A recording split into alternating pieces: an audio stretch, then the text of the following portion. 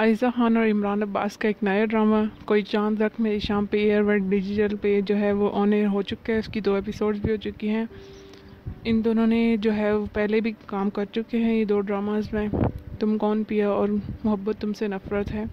तुम कौन पिया जो है वो उर्दू वन पे ऑन एयर हुआ था और मोहब्बत तुमसे नफ़रत जो है वो जियो टी वी पे ऑन एयर हुआ था। उन दोनों की हिट जोड़ी को अब एयर वाई डिजिटल पे एक ड्रामाई शक्ल में दिखाया जा रहा है।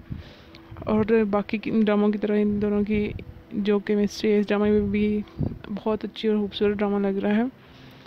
आप लोग में से बहुत से लोग जानना चाहते होंगे कि बाकी जो ड्रामा से जैसे तुम कौन पी और मोहब्बत तुमसे नफरत, दोनों में जो है वो हैप्पी एंडिंग नहीं थी, बल्कि हीरो और हीरोइन जो थे एक दूसरे से बहुत ज़्यादा एक सैड एंडिंग थी, कोई हैप्पी एंडिंग नहीं थी जिसमें उन दोनों को मिला दिया गया हो।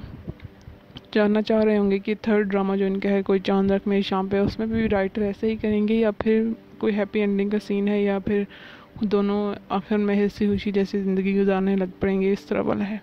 तो आपको इस वीडियो में मैं ये बताने जा रही हूँ कि ऐसा बिल्कुल भी नहीं है, बल्कि इस ड्रामे में भी आयजा खान के साथ वैसा ही एक और बेचारी वाला कसूर, जो उसका एक औरत होने का जो उसका कसूर है, इस वजह से उसे एक आइडियल मिसाली बीवी ना होने की वजह से वो इन दोनों का रिश्ता जो है वो पहले तो शादी कर लेते हैं और कुछ अर्सा रहते भी हैं।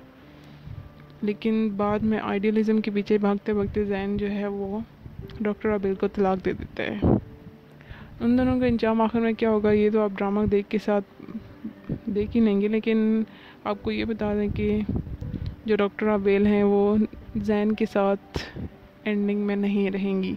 बल्कि डॉक्टर रबेल उमेर के साथ शादी कर लेंगी और उसके साथ हँसी खुशी ज़िंदगी को बसर करेंगी।